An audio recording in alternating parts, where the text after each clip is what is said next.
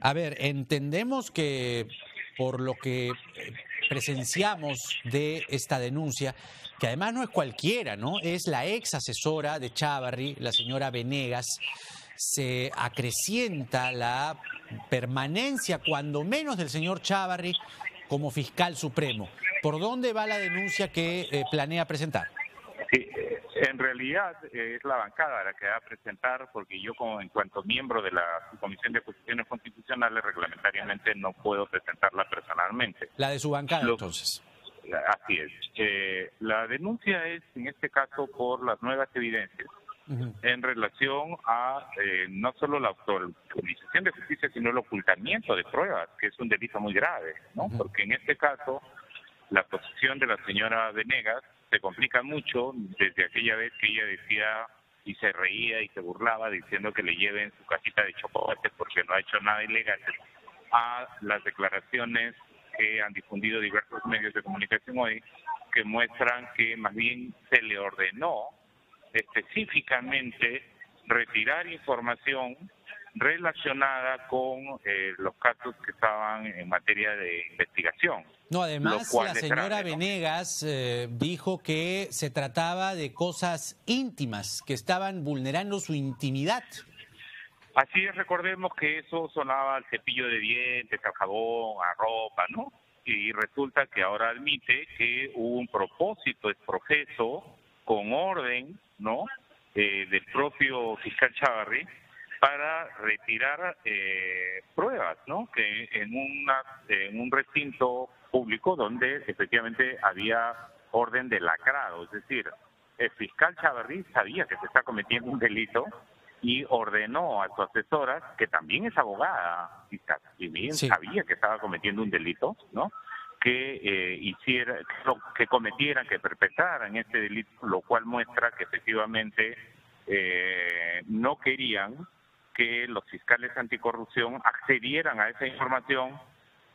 Si los exculpaba, no la iban a retirar. En todo caso, el sentido común lo que indica es que era información incriminatoria, ¿no? Ahora, hay que ver si esa información que poseía el fiscal Chavarri y que tenía allí depositado y retiró eh, su asesora, era información obtenida legalmente o ilegalmente. Ese es otro tema que además puede agravar la situación del fiscal Chavarri y de esta asesora y del personal policial que en este caso actuaron como cómplices, ¿no? Porque el personal policial asignado a su seguridad es, para su seguridad, no para ayudarlo a cometer un delito. Poniéndose, anticipando, mejor dicho, una estrategia de defensa que además no es nueva, ¿no? En el caso de Pedro Gonzalo Chavarri se han podido observar múltiples estratagemas de defensa que no necesariamente este, revisten decoro, por decirlo menos. Van a seguramente a decir, por un lado, que este es el solo dicho de la señora Venegas, sin embargo están las cámaras de seguridad, y por otro lado, tratándose de una eh, acusación de esta magnitud, entiendo que esto eh, va a la subcomisión de acusaciones constitucionales. Ahí va a tener, digamos, el, el blindaje del señor Segura y compañía, ¿no? Siga, señora. Eh, en, realidad lo que ocurre es que eh, hay una situación muy complicada en estas circunstancias, eh, porque efectivamente mientras no se rehaga el cuadro de comisiones, el fujimorismo puede seguir pretendiendo blindar a, a Pedro Chávarri, ¿no? Eso, digamos, lo han hecho sistemáticamente y lo pueden volver a hacer. Pero aquí hay dos caminos, ¿no? Este es el camino de la acusación constitucional que Frente Amplio eh, presentará a la subcomisión y lo que se está viendo es una, una reconformación del cuadro de comisiones. Pero segundo, es que yo estoy ingresando una carta a la fiscal de la Nación, a la señora Ábalos, de tal manera que ella disponga todas las diligencias de investigación en este caso, ¿no?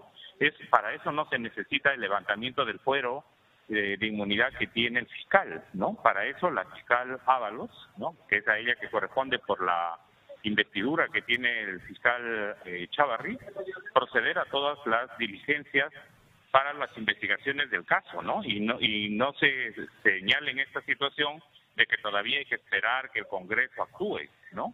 Aquí la ah. fiscal Soraya Ábalos puede disponer, en base a la nueva información, las investigaciones a las que hubiese lugar, todas las diligencias, ¿no? Para las investigaciones.